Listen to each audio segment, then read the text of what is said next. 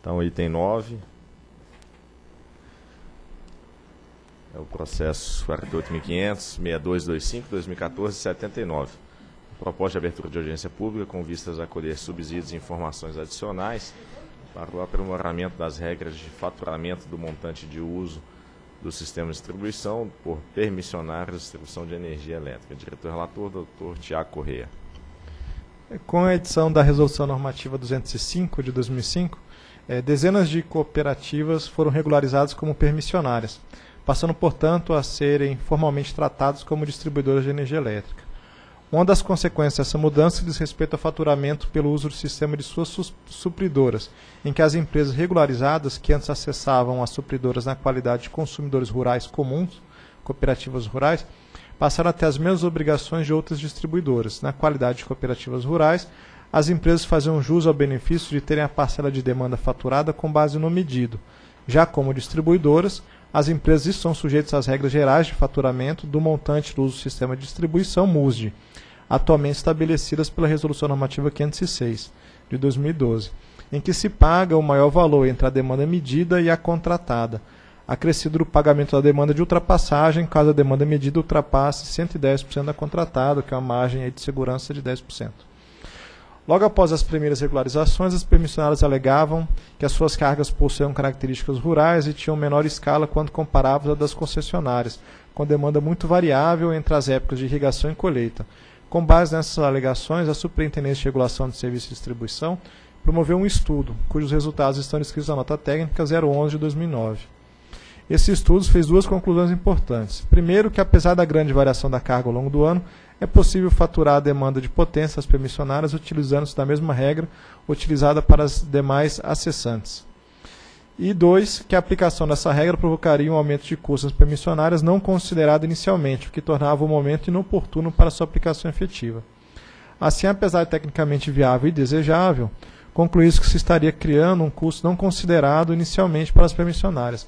Nesse contexto, foi editada a Resolução Normativa 353, que, de 2009, que inseriu em seu artigo 19A a resolução, é, que inseriu o artigo 19A na resolução 206, estabelecendo um regime transitório para as cooperativas regularizadas, como permissionárias, cujas tarifas iniciais foram definidas pela aplicação da metodologia do SINCOR, no sentido de serem faturadas pela demanda medida independentemente do valor da demanda contratada, até a primeira revisão tarifária ordinária das permissionárias.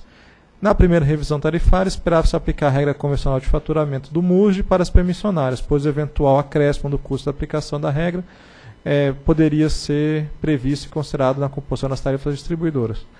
Todavia, entendendo-se necessário aprofundamento nos estudos, foi publicado o despacho 3124 de 2013, estabelecendo que o faturamento do uso do sistema de distribuição nas permissionárias, que estão no primeiro ciclo de revisão, deve ocorrer pela demanda medida, até que fossem concluídos os estudos sobre o assunto.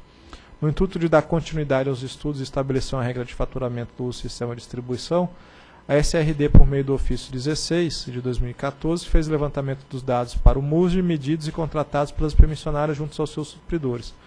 O assunto foi analisado pela nota técnica 101 de 2014. É o relatório. É, a Procuradoria já se manifestou, mas tem uma apresentaçãozinha também técnica. Né?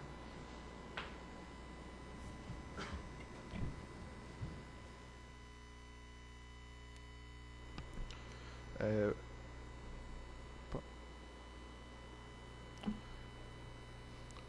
é, bom dia a todos. É, vou fazer a apresentação. Eu vou passar rapidamente pelo histórico. O, o Tiago já falou no, no, na leitura do voto.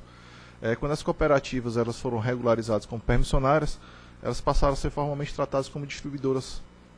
E isso implicou em outra regra de faturamento do montante de uso e distribuição delas. É, como cooperativas, que essa regra é, vigora até hoje, ela, o MURD faturado é igual ao MURD medido, independentemente do MURD contratado, do valor contratado. É, a regra que elas passariam a, a, a, se submeter seria pagar o maior entre o MURD contratado e o MURD medido. Se o MURD, contra, se o MURD medido ultrapassasse uma margem, ela pagaria a ultrapassagem. Né? É, em, em face dessa nova regra, as permissionárias alegaram que essa mudança ocorria num momento particularmente difícil, que era o momento da regularização. Além de tudo se preocupar com tudo aquilo que a regularização implicava, teria que se preocupar também com contratar a demanda. é, e que esse custo, esse aumento de custo não tinha sido considerado nas tarifas iniciais definidas pelo SINCOL das permissionárias. Aí a gente fez um estudo lá em 2009 e viu que efetivamente esse custo inicial não tinha sido aplicado, mas que era possível e desejável que as permissionárias se, se submetessem à regra geral. Foi editada a Resolução 353, que inseriu o artigo 19A na 206, é, estabelecendo essa regra transitória, né, que ela pagasse pelo medido. É, a 206 ela foi revogada em decorrência da AP 108, mas foi editado o despacho 3124, que manteve a regra do uso de medido até que se aprofundasse nos estudos, esse estudo que a gente pretende apresentar. É, a segunda revisão tarifária das permissionárias está tá prevista para acontecer em fevereiro de 2016, mas o processo se inicia em agosto de 2015 agora, então a gente pretende finalizar esse processo até agosto. Para estabelecer a regra, a gente fez uma análise de impacto regulatório é, para combater o seguinte problema, que é que a regra atual, pagar pelo medido, não foi é, transitória e não foi estabelecida com critérios técnicos, apenas para manter a regra anterior. Então a gente buscou averiguar se as permissionárias devem ter tratamento diferenciado quanto ao faturamento pelo uso do fio e qual seria a melhor regra de faturamento para as permissionárias. A gente fez um ofício circular e obteve informações sobre 241 pontos de conexão. É, os cenários que a gente montou foi o cenário zero, que é manter a situação atual, pagar pelo medido, o, o MUS de faturado ser exatamente igual ao medido, então a manutenção da regra atual. Outro cenário, cenário 1, um, que a gente chamou de margem maior, é pagar o maior entre o medido e faturado, só que a margem de ultrapassagem ser de 25%, ao invés de 10%, como é para os demais agentes, para as demais distribuidoras. É, então, o cenário 0 e o cenário 1 um implica em dar tratamento diferenciado às permissionárias.